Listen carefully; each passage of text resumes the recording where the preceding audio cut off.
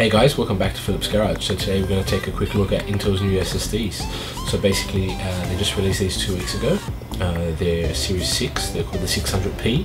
Uh, they sit above the 5 Series SATA drives that Intel has and underneath the 7 Series, uh, such as the 750 uh, PCIe drives that they have. Uh, performance to dollar, they look pretty good, um, but what we'll do now is we'll just take a quick look at them.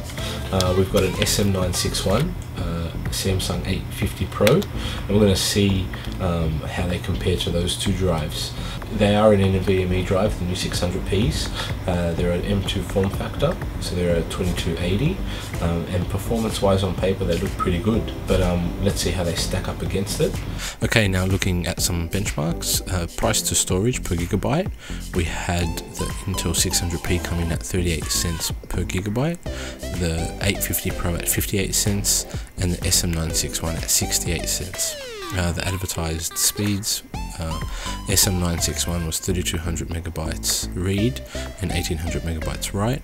Uh, the 600p is 1570 megabytes read and 540 write, and the 850 Pro is a 520, a 550 read and 520 write.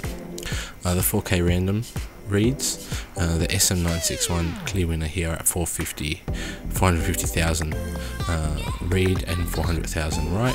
Uh, the SM961 at 71,000 read and 112,000 write. And then we had the 850 Pro at 100,000 read and 90,000 write.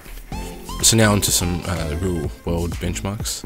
Uh, we took a 7 gigabyte uh, QuickTime file, uh, we transferred it off our XP941 onto the drives. We had the SM961 do this in 8.3 seconds, uh, the 600p do it in 26.4 seconds, and the 850 Pro do it in 28 seconds a Blackmagic speed test. We took we done the five gigabyte file test. We had the SM961 reading at 3105 megabytes a second. Write was at 1680 megabytes a second. Moving on to the 600p, that was uh, 1372 read and 533 write. And then lastly, the 850 Pro was a 530 uh, read and a 511 write. Um, in AJA disk test, we done a 16 gigabyte file in the 5K read format, and this was uh, a frames per second test. And we had the SM961 um, being able to produce 71 frames per second at 5K in real time. Um, the Intel 600p do that um, at 40 frames per second, and then the 850 Pro not not able to uh, sustain the frame rates at 12 frames per second.